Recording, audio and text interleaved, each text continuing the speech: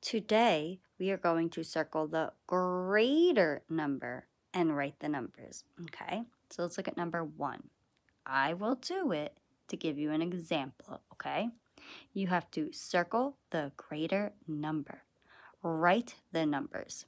So we have the numbers 38 and 83. We need to know which number is greater, which one number is bigger, okay? So first we're going to look at the tens column. 3 and 8. Okay, are they the same? 3, 8?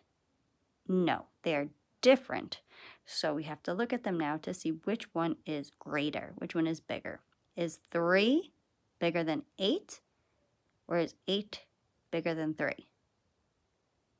Yep, 8 is bigger than 3. So, it says 38, 83. Now we come over here. Blank is greater than blank. Blank greater blank. So let's look at our numbers. We circled 83, so 83 is greater than 38. That's the numbers. Again, we do the same thing here. 83, 38. Now you're going to do it down here. But instead of doing greater, you're going to circle the number that is less. Write the numbers. So I'm not doing it. Here's 61, 29.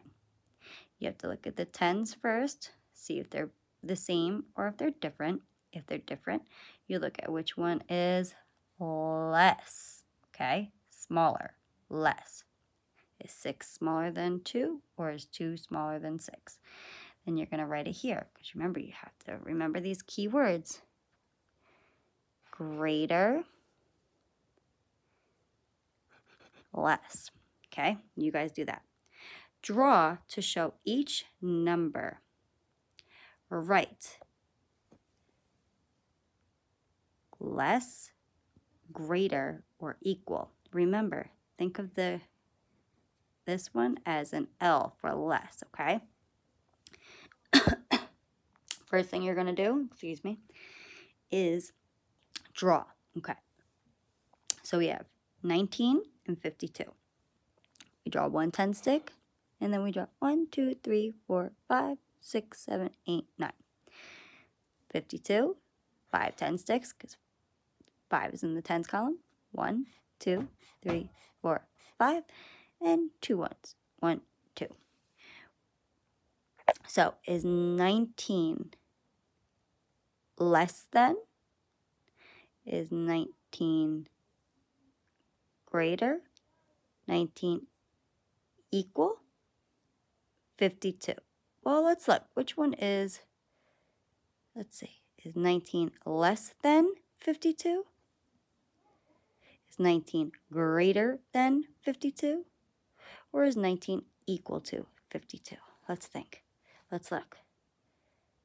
Do we have less 10 sticks here than we do here? Yeah, we do. We have less. We have 1 for 19, and we have 1, 2, 3, 4, 5 for 52. So we're going to say that 19 is less than 52. See my L? 19 is less than 52. Now you guys have to do that uh, same thing for this one. 44, 43. Draw your 10 sticks. Draw your ones. Draw your 10 sticks. Draw your ones.